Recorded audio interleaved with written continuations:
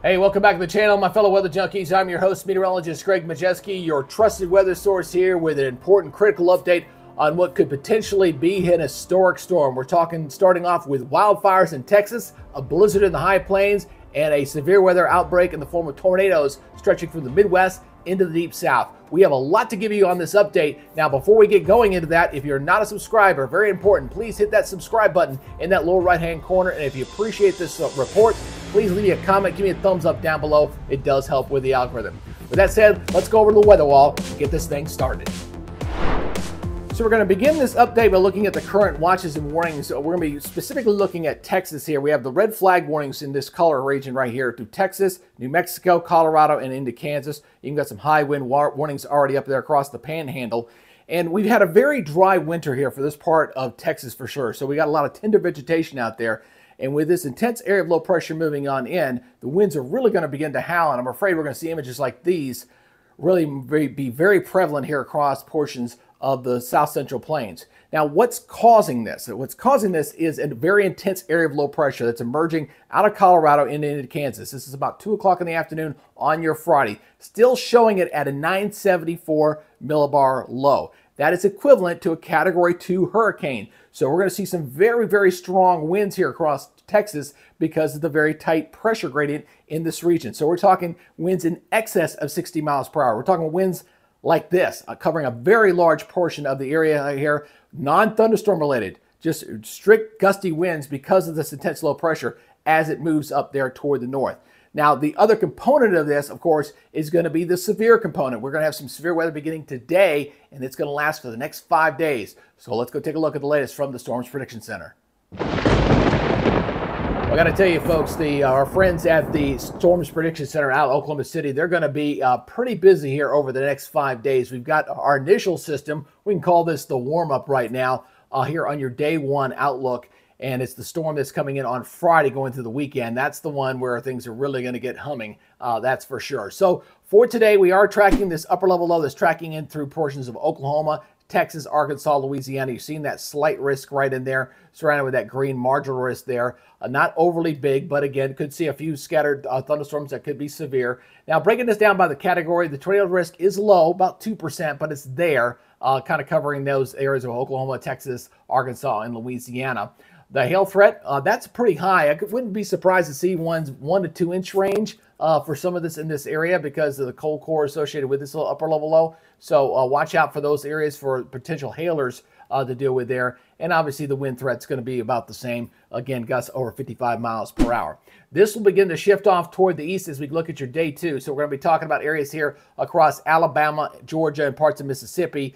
Uh, again, an isolated severe thunderstorm or two out of this, not out of the question, but I'm not overly concerned about tomorrow. What I am concerned about, obviously, is the, the big storms coming in here on your day three outlook. So your day three right now is showing up to enhanced, up to level three here. So we're talking about cities of Memphis, St. Louis, Springfield, Evansville, Peoria in that zone. In the enhanced area, the slight risk includes Chicago, Indianapolis, Nashville, Louisville, as well as Birmingham. And I'm going to be honest with you folks, it would not shock me the least if we see this potentially upgraded to a moderate risk as we get closer to it. And my reasoning thinking of this is because of the fact we've got some pretty decent instability and a tremendous amount of wind shear uh, and helicity with this system.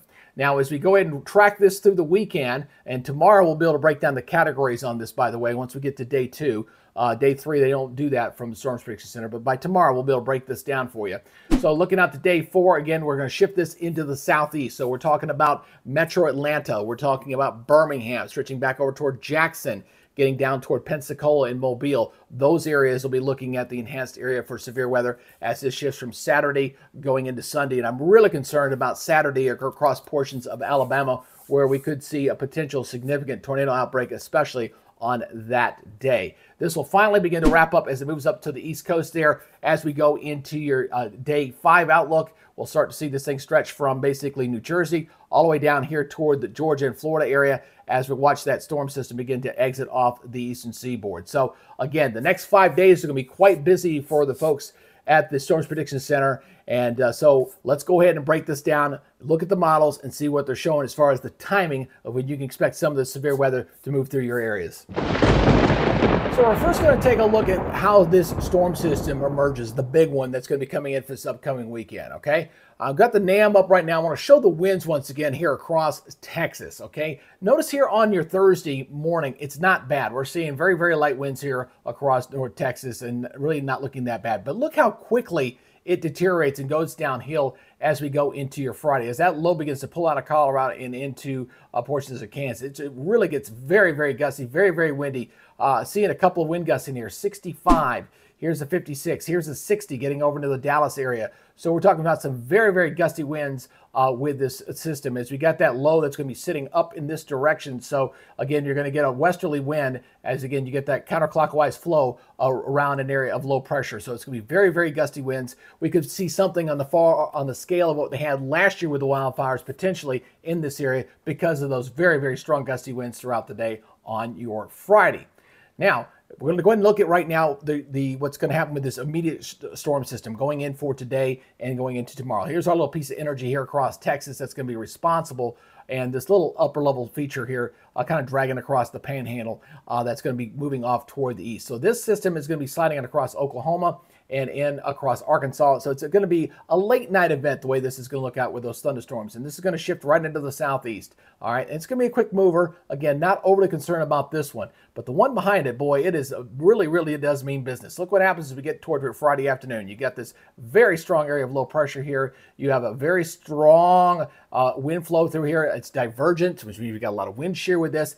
And we're going to we're going to trap some instability out ahead of this system as well as this begins to push off toward the east. So this will be shifting off toward the east. And then we got another jet of energy here that's coming around the bottom of this trough as this goes into Saturday night and Sunday here, coming in across the deep south. So uh, that's very concerning. I'm, I'm, really concerned about Alabama uh, as far as potential tornado about Mississippi, Alabama. That's really catching my eye here uh, for this upcoming weekend. So as this pushes on off, uh, we'll see things begin to improve as that trough goes off. But don't let your guard down, folks. The weather pattern still is looking very busy as this one goes by. All right, we got another system. This one comes on out. Again, this one's not nearly as strong as the one we're going to see this weekend, but again, another low pressure, very strong jet flow here coming in here, and we're just into that time of year. We're going to a parade of these storm systems, one after another. This one comes on through, and that one exits off.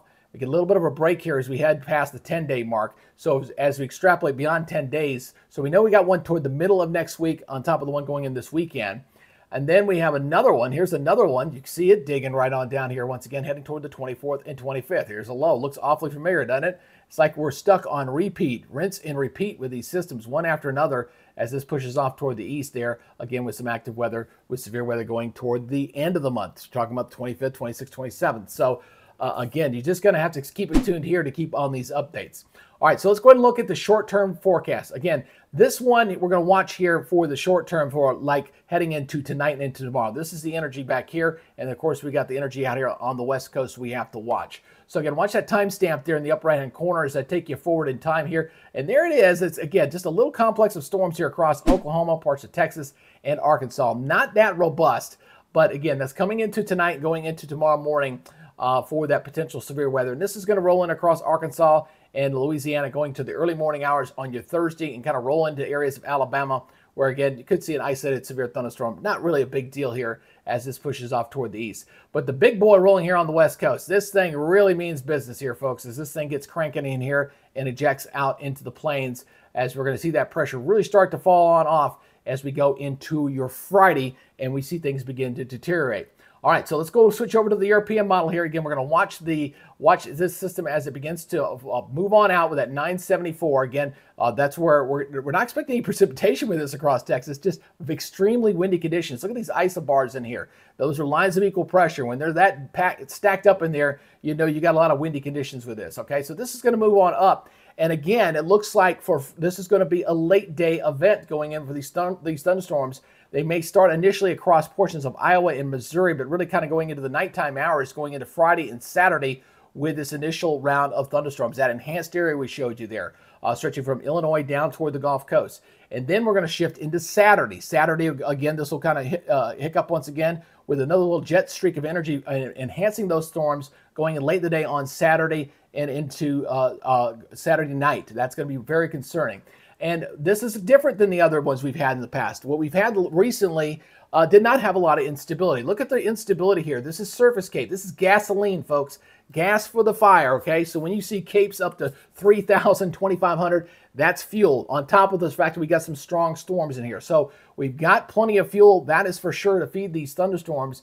And as we track these storms, again, using the K index here, this is kind of your thunderstorm tracking mechanism here. You see this; uh, these thunderstorms really get robust here uh, going into Saturday and Friday. So Friday night, it doesn't look too terribly bad into the morning hours there. And then going into your Saturday, that's when things really get howling there. And again, I'm really concerned about Alabama here uh, potentially seeing a, a, a, significant tornado outbreak. I'm not talking about April 11th type stuff back in uh, April 2011. Not, nothing on that scale, but it does concern me. We may see an outbreak here as this pushes off toward the east, and we see that line of thunderstorms that'll kind of track across Alabama and Georgia through the overnight periods there. Again, another nighttime event with thunderstorms, and this moves off the eastern seaboard, and then we see things begin to slowly but surely begin to improve. So going back over here to the uh, uh, European model here, as we kind of track this thing on out, we say goodbye to that system, and then we're going to see the next one come on out. Again, we got this one. This one doesn't look that bad, but again, could see a few thunderstorms in here. I'm thinking marginal slight on this one, the way this is tracking here, heading toward the 20th of March. That's on that particular system. Then once you get beyond 10 day, again, we're kind of extrapolating here, just kind of seeing what the, the trend is here. Because I tell you, the trends did work out pretty well with the big one we're tracking this weekend, that's for sure. And then we got another system here to watch. This one going out to the 25th. You're seeing this one again. You got low pressure here. Uh, got the cold air mass warming up with the warm air mass once again. And that will set up more severe weather there. And then it just kind of slowly presses off toward the east going into the 26th. All right, so again, very active weather patterns staying with us here uh, across the country here as we head deeper into the month of March. Let's talk about precipitation totals again. Let me back this up once again for you real quick as we're looking here at the short term for the next three days. Again, a lot of activity out here on the west coast. A lot of heavy rain as that big storm system uh, makes its presence felt. We got a little rain here, obviously with the system that we're going to have here across the south for Thursday and into your Friday a little bit as that kind of exits on out really Wednesday, Thursday, not Thursday, Friday. So that kind of moves on out. Then we'll see the heavy rains with that system through the weekend across the deep south.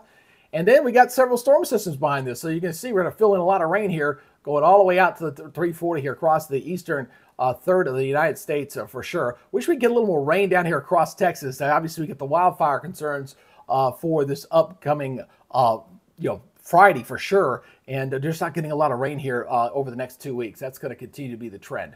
Let's talk about the blizzard component of this. We do have a blizzard part of this. We want to talk about this as well. Looking at the snow totals here as I go and take you on out, again, going for this upcoming weekend. So as that load begins to track up to the north, uh, we're going to see some pretty uh, decent snows. Not bad, but again, blizzard means like whiteout conditions. Doesn't necessarily mean the depth of the snow, but we're going to have some uh, decent snows falling up here, and this the winds are going to be definitely howling uh, into that area there. So let me go into the central U.S. here, going a little bit closer, and again, we're seeing you know six to eight inch snow totals in here. Not bad up here across portions of Minnesota. Uh, that's going to be moving in here uh, with howling winds up to 60 miles per hour. So definitely could still see uh, blizzard conditions here across many portions of uh, North Dakota, South Dakota, at least the extreme eastern portions of it, uh, but definitely there into Minnesota as that big low begins to track up into that direction. So going and wrapping up this update with the latest from the Climate Prediction Centers. We're looking for the next 10 days here, days 6 through 10, still looking at below normal temperatures out here in the west relatively warm for most of the country, except maybe near normal here across the southeast, probably because of increased chances of rain, that's for sure. And then looking to the 19th to the 25th, still looking at cool pattern in the west, milder temperatures here in the east. Precipitation wise, looking like this. Again, very active out here on the west coast. Very dry in the area when they need it. And boy, I'm really concerned about those wildfires this, this Friday. We cross our fingers, but I got a bad feeling about that. And then we got some uh, active rainy weather up there into the northeast. Going up in two days, 8 through 14. Again, the 19th to the 25th. Again, still looking pretty active with the weather trend here across the country as we've seen. And still looking dry, unfortunately, across portions of Texas. So we're in store for a very active next few days here, folks. So uh, we're going to try to keep a watchful eye on this for you guys. Uh, probably going to try to do a little bit of weather coverage here on Friday night if, if everything's firing up like it's supposed to, late afternoon Friday into Friday evening. And then, of course, we're going to be watching it very, very intently on Saturday. I am concerned about uh, Alabama, to be honest with you, Mississippi, Alabama area uh, with that gender industry, the instability uh, there. It just uh, got me a little concerned Uh, it's still question marks on how big of a potential tornado outbreak we're looking with this storm. It's already historic just in the nature of the sheer pressure uh, being that low. It's definitely, uh, you know, ones you don't see that often here that tracks across the country. So we got wildfires, we've got blizzards, and we've got tornadoes. Got a little bit of everything with this big storm system. At least the ones behind it don't look quite as impressive or as bad as this current one, but hey, it's still early in the season, right? All right, folks, hey, if you want to appreciate reports like this, and if you'd like to be a participant of our live coverage and get those notifications, uh, do me the favor, do me the honor, do me the pleasure. Please go ahead and hit that subscribe button right now. Hit that notification bell so you're alerted on future content. And if you appreciate what you see, if you got a comment, got any feedback, please post that down below as well. Be I like I do respond to people's questions and things like that. All right, that's y'all's update for now. You guys take it easy, be good, stay safe, and we'll see you on the next update. Till then, y'all be good. Have a great day. Bye, guys.